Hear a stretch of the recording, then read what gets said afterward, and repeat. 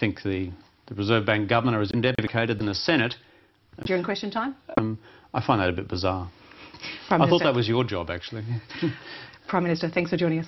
Thanks for having me on the program.